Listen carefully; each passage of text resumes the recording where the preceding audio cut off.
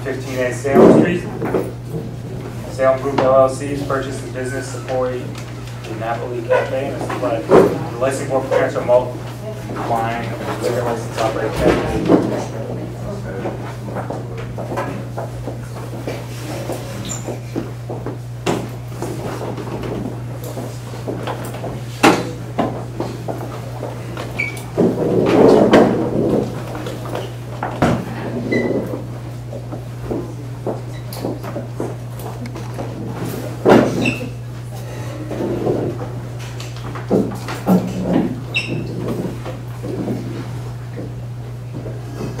Good evening, members. How are you? Good evening. My name is uh, Attorney Miriam Cicero, and I represent the Salem Group.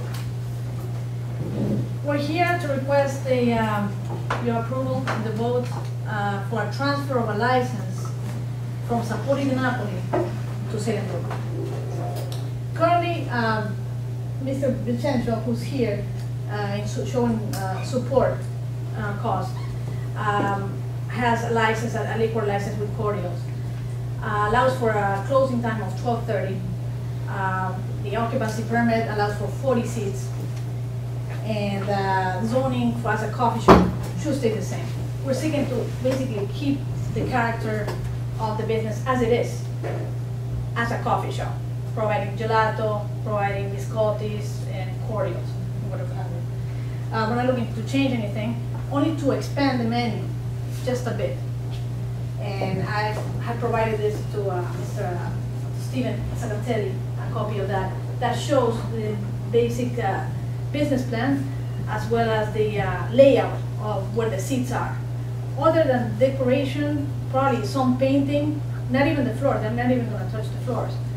Uh, They seek to bring a twist and, and, and reach that vibrancy that this neighborhood has, because that's what attracted them. This whole, um, idea of being in an Italian restaurant, not looking to change the, the Italian flavor here. Um, we have gone to the city, we have provided, uh, notice, uh, I believe it went to the, um, Herald on November fifteenth. We spoke with Mr. Leo. Uh, and, uh, they told us that we have to go to you guys, and we're happy to be here, because as I told them, I am a trustee for a building in Austin, and we have that harbor problem there. And I understand, you know, living in a neighborhood like this, it's good to have a bridge of communication, have you guys meet the client, know who they are, know what they're about. And uh, I will pass around also the business cards, happy to just give us a call. You uh, You know, any problems like such as trash, as you commented, you know, the safety issues, any, anybody that you see hanging around, anything like that, if you can let us know, we'll be happy to, to address that, any problems like that. Um, uh, let me introduce Mr. Alex, he is the food preparer, he will be doing the salads, expanding the menu a little bit. And, uh, this will, this will be like a sample of how it would look. Just to expand it, because currently what they have is just a couple of cookies, some biscotti, you know, very, very simple, we're looking to expand that, bring that to a whole new level. Bring some, as I said, vibrancy, some, some, some twist to that. Uh, Mr. Vincenzo, he's here and uh, showing our support, and I want to thank him. Any questions that you guys have for my clients, Alex? Uh, Clara is the uh, director and vice president, and we have Mr. Nestor Patino, who's the president. And as I said, I will pass it around the, any, um, um, the business cards that we have. Uh, we have also in, sent over a hundred letters to the abutters, went to the assessor's office. And, uh, and there are all these, I have copies of everything if anybody wants to look certified. These of the business cards in case you have any questions or anything, just please give us a call. So you're purchasing the business, the business, the name, the same, you'll keep the same name? They're gonna have the uh, Sapori di Napoli, they're gonna change it to a DBA Rigoletto. That would be the name, but in the meantime, Rigoletto. And from them, you know, we're just gonna, just to give it, like, so that, you know, the customer knows there's new management, something's up, something's coming. Are you changing the signage? The signage will change eventually. It will be kept at the, the same, probably the same, uh, No, The same, size? no neon. uh, no, no, the way, the same, the, the same power it is right now, but it will change the name. The name will be from Sapori Napoli to uh, Rigoletto. And we'll go through you, if I can, you know, Correct. PDF, you Correct. guys, Yeah. definitely. And what are the hours? The hours ten to, what are The same hours. The same, the Yeah, same. from twelve thirty. That's the license. Ten to twelve thirty PM? Yeah, Seven nights a week. seven hours. Do you already have a date from the city? Or? Yeah, No. I think I, We're the on the city. That the eighth January, gotta go. January eighth? Yeah, I think so. January eighth. Do you, is there a beer and wine license involved or? It's beer, wine, and Georgia. We still have to, we're working with Mr. Kubiak currently, and we're looking forward to meet him, uh, on Monday or Tuesday next week. So that should be, you know, the next step, and then giving on January eighth. Will cooking be taking place in the premises or just preparation, putting together foods? Will be, will be the same, in the same premises, but they, right now currently it's an oven over there, so we don't plan it to like get more cumin or anything like that. We're just gonna keep whatever is in there and, and, and work with the oven that is currently over there with that menu. That's why we, we decided to go with that menu, which is easy and we can uh, do the prep inside the, the place. It's- It doesn't require any frying or anything like that. Just the oven Just itself. Do you guys have uh, is the condo association approved a franchise? Yes. Yeah, do you have, do you have a, a letter or anything from Got the them? letter of. Letter from condominium association? Condom Association? Yeah, they- I give you the letter to Elaine. I s- I noticed I can email you that, that right away. that you As have soon as I outdoor get a new patios. council, I just call That it. you have outdoor patio service, is that been in your plan? Patio Patio service. services? Outdoor, No, no, okay. no, no, no, no. There's no, No currently there's no space over there either for a patio, Usually it's so. the same, the same the way it's over there. It's nothing changed. So- I'm sorry, Go ahead. being new to, to the neighborhood, um, there are some issues and concerns, of course, that we have with, you know, having so many restaurants, and that's, um, extermination and trash, and, I mean, I assume that you have everything in order, and you have all your contracts in order, and Mr. Vincenzo has uh, allied uh, waste systems, and I wanted to ask you if that is a company that, you know, is reputable. Otherwise, we will just definitely change. Okay. Then we will be, he'll be, uh, the president will be renewing that contract with systems. Cool. So part of what we do whenever we uh, hear a application for a transfer license is to find out about the new manager and what their qualifications are to be running a business with a liquor license. So can you talk a little bit Sure. about that? The uh, manager of the business is Ms. um, Clara, and uh, she's, they're married, Clara and, uh, and Mr. Patino.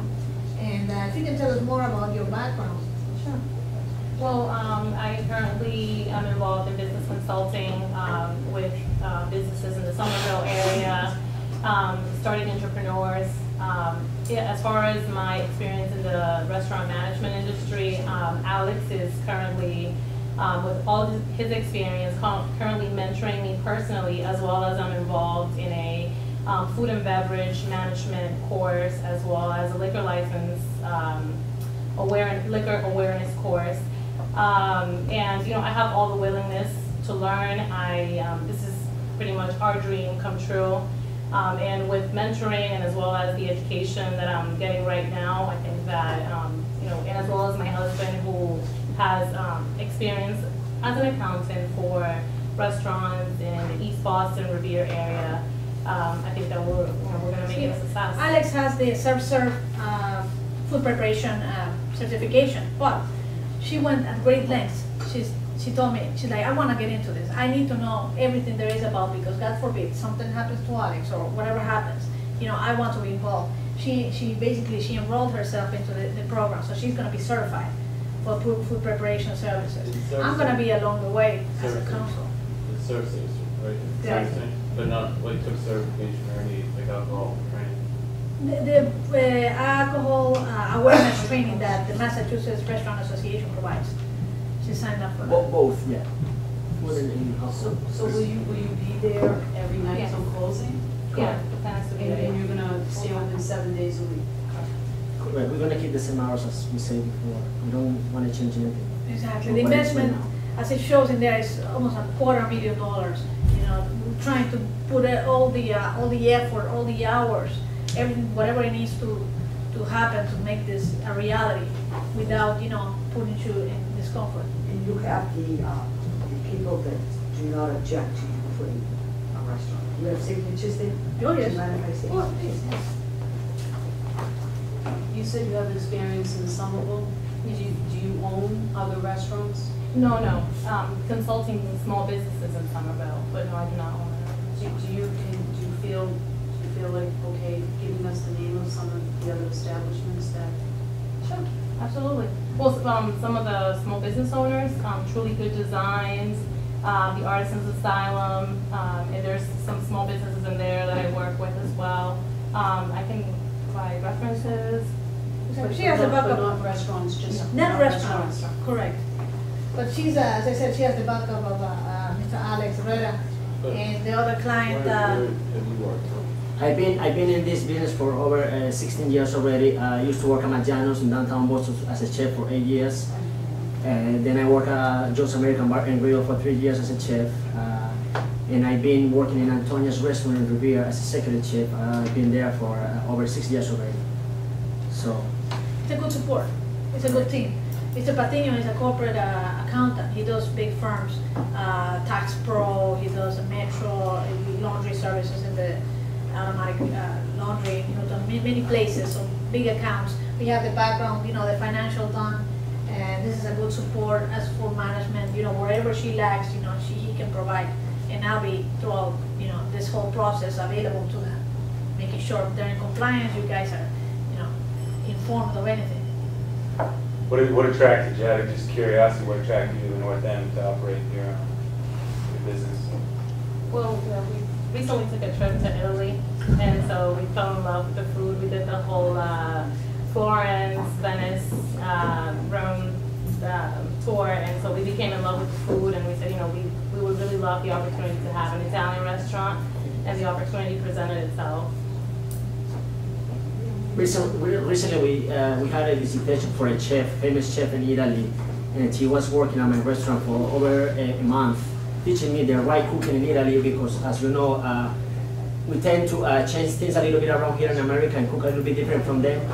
And since I've been working with Italian food for over 15 years, I love, that's my passion. So I really want to get excited and get uh, like a different twist and see how they cook. And it's, believe me, it's a, little, a little bit different, you know? They cook really, really, uh, really well. So one, one thing I would just say is, you know, uh, is, you know, we have some very successful restaurant owners here in the room, and, you know, one of the things, um, that they've all done is given back to the community, whether or not they're running fundraisers for the schools, or, you know, Taste of the North End, so just as, you know, business owners, I mean, feel like, also, you know, whenever there's an opportunity, I know it's hard at first, at first, but to be involved in the community as well, is definitely, uh, something that we need and appreciate. That is important because the Yeah. Greater Boston Food Bank, that's one of the primary uh, uh, places where they've been involved, you know, as volunteers and, you know, and that, that, that is a good uh, insight. But uh, uh, what you're saying is, you know, we have all the willingness to participate in any type of um, Fundraising. fundraising or, for yeah, Tots, absolutely. like Like that. we have, you know, one hundred percent willingness to want to be part of this community in full. I have just one more question.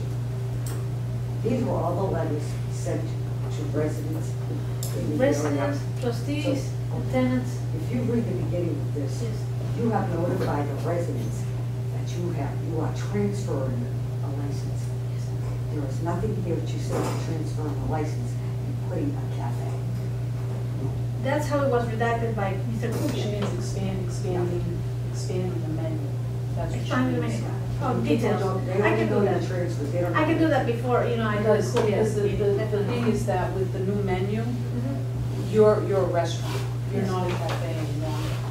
And what Marie, if I can say, it, I think is saying is that she feels as though, um, people may have, may feel a little bit deceived Yes. when you are now running a full, fully operating restaurant, basically, and your license was supposed, supposed to be transferred to a cafe as, as is a coffee shop. So I think that that's what the point is here. Okay. I So can there- definitely. there's a little uh, bit of deception there, Because now, confusion, now say? you're, No, Yeah, you're you said confusing probably because- not word, probably s- s- mistake, or just a mistake. Right. Exactly. Mr. Kubiak is heavily, he was the one who redacted the letter Right. with me and I, and we went back and forth like a couple of times. He, basically, he gave us the okay because, uh, Steve too, I sent the letter to Steve before he went on vacation. He told me, It's mentioned in that. he, oh, okay, he told me, you know, this is what you have to do, this is what you have to write. I went strictly by what he indicated. I gave him the copy of everything. So I'm sorry, that was, you know, I don't mean to deceive or anything. But you're, you're transferring the license Just to a a license. restaurant, like Maurice said. not a Coffee shop. coffee shop. It's just a coffee shop. It's not like a full-fledged, you know, pasta marinara or parmigiano or Okay, so anything it is like a that. coffee shop. We just wanna do Correct, once- something different to attract people. I'm confused. With salad, it's not gonna be a full cooking shop. Yeah, it's not, it's not cooking be- because it's an oven over there, we're just gonna keep the oven, we don't add it like burners Let me, or. let me ask you a couple of questions. Yes. For, for a second. Eh, Benny, uh, Vincenzo, so we transfer the license, you sell the business to these folks over here, and they're gonna expand the cafe menu. So they have, you have, you have a cafe there now, that sells gelato and pastries, and they're gonna expand the cafe menu using the existing equipment. The reason why I bring this up is because, as you know, the condo association does not want a restaurant there, okay? So, that's been addressed with the condo association. Yeah, that's all right. Okay, all right. Do we have the letter from the condo association approving? I give it to them. Do we have it, is it one of the letters, is it there Did you give it to I Walsh?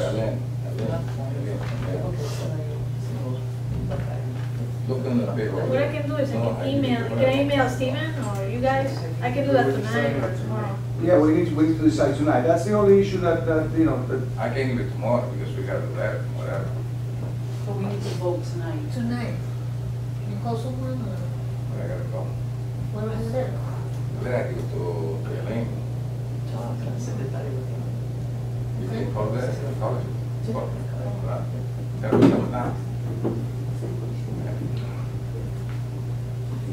Sorry for the delay. In terms of language to um, operate, to transfer to operate a cafe, coffee shop, you're saying that was given to you by, who gave you that language to use?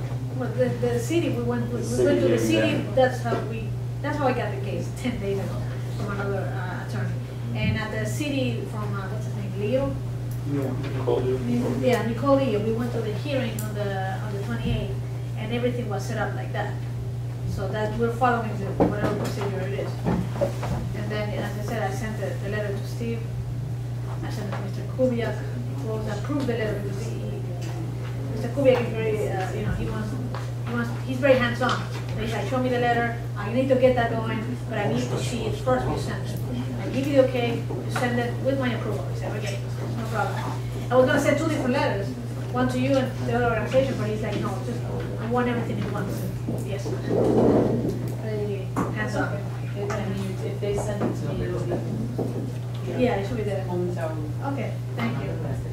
So did the city kind of in the, re- did they see this like menu, they kind of gave that guidance, or do you approach them? with No, that the language? menu was just done like, uh, basically to- today, to give you like an insight as to what we have in mind. That, you know, that was just made out of, you know, out of trying to help you guys envision. I didn't mean to say the word, you know, deceive, but Yes. I just, it was a question, it was just a question. I can, as I said, I can send, that I can uh, change the letter without Mr. Kubiak, say, okay, but I- I'll send that, you know, for the next meeting on Tuesday that I have with, uh, with the You're talking about David Kubiak? Mr. Kubiak, yes, yes. So does anybody else from the council have any questions? No? Or anybody from the audience have questions? I think, I'm not telling you what to do there, but one thing says the coffee shop, and and that suggests, the menu suggests a restaurant. Says cafe slash coffee shop.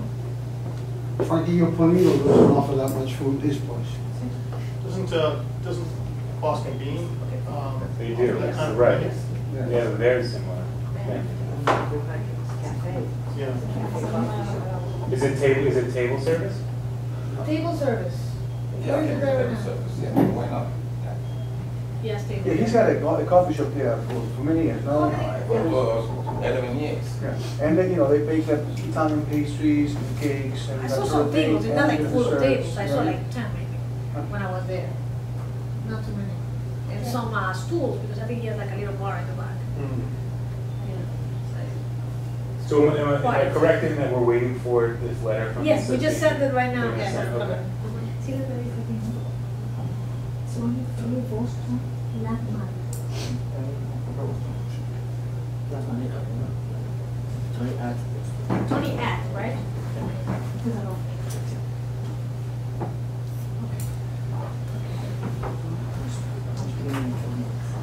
But it's already been purchased, you guys have already purchased the operation of it. The only thing that is that, that we're voting on is the He's change of holding the us liquor back this, license. correct. Correct? He's holding us back there. So it's- We're, you know, there.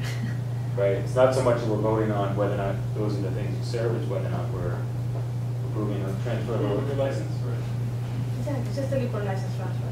You know, and any, Like anything else, you know, Hmm? The liquor license is what's before. Right. Not liquor license, just. And we, uh, just, just, as I said, it's just a proposed menu, that's nothing written in stone or anything like that. As long as it doesn't expand the, the kitchen, you know, we don't want anything like that, you know, to disturb traffic, and it's so hard to park already there. Or anything like that. I spoke to them about that because they, you know, they allows you for forty, it allows you for forty, um, uh, the occupancy for forty people, but, uh, uh, you know, if the worst comes to worst, you know, we'll just get a valet parking or anything like that, if it proves to be successful. We'll see. We'll see, we'll see. We'll see.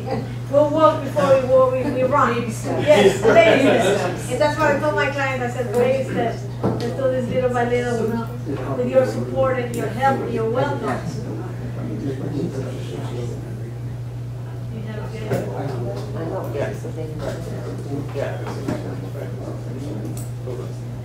Any questions? So as we're waiting for this letter to come in, is there any other outstanding questions that anybody wants to, or concerns that anybody wants to voice publicly? Well, it. Can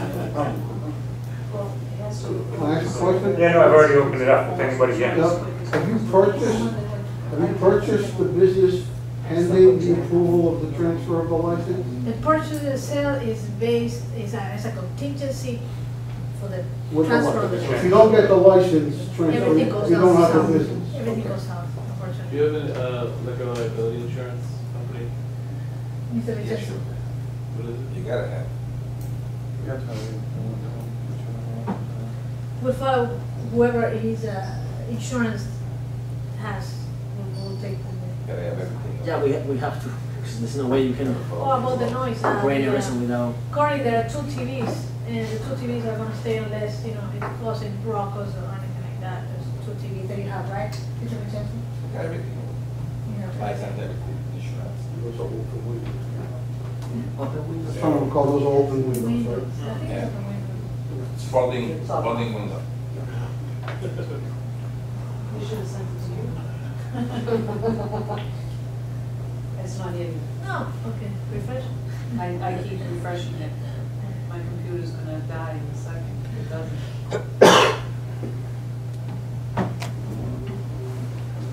Well, I mean,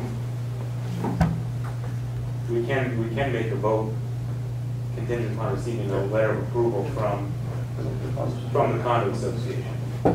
So as long as we receive the letter of approval from the condo association, association, that'll confirm whatever, however we vote. Can I ask a question about that? Go ahead. So I didn't, I just caught a a general implication that the condo association has previously said they don't want a restaurant there. So what was it that you, that you did to convince them that now a restaurant is okay, or at least food Mr. service? Vincenzo? We got the letter from the condo association. But what, did did you have any talks to say, okay, Yeah. oh, you did? Because they had previously said they didn't want a restaurant there. I don't know, I just got the impression that Who the condo who said association. that? Well, I just got the impression from the council that there was a, the condo association, associ- association had expressed a desire not to have food service there. I served-. I served- I served food over there. I went to, two years ago. I take it off. At one time, did they Yeah. not want food there? I I serve food over there. I can serve food. I know, I know, because I go to your restaurant, I know. But did they say they didn't want food going in there once? No, there was nobody said that. All right, so there was no objection from the No. All right, I don't know where I got the impression, but now. I don't know I said that. So, I was under that impression. as well. Can you You guys If there's, So- it's part of the condo association, we just ask for the support of the condo association, that's all, have all the letters, uh, that comes in, that comes in. So we can put, we can put a contingent upon the receival, the receiving this letter of support. So if, um, however we vote, if we receive it, then it'll confirm the vote. If we don't receive it, then we'll have to go to the city and and let them know that, um, it it wasn't Well, approved. yeah. George, you it tomorrow. Huh? I guess so. Yeah. I mean, that. So you can send it to, um, Stephen, and I'll give you another email that you can also send it to. Oh, I can do Um, So, you know, if we have, a if anyone has a motion, or, so what's on the table is uh, transferring the license, malt wine and liquor license, um, to the Salem Group from Sapori di Napoli. Support it. Support. Subject to approval of the front. Subject to approval of the letter from the Okay, condos. I make a motion What's your motion? to support. So all in favor? No, We have to that's have a second. Oh, sorry about that. I'm on a new job. Everybody seconds, right?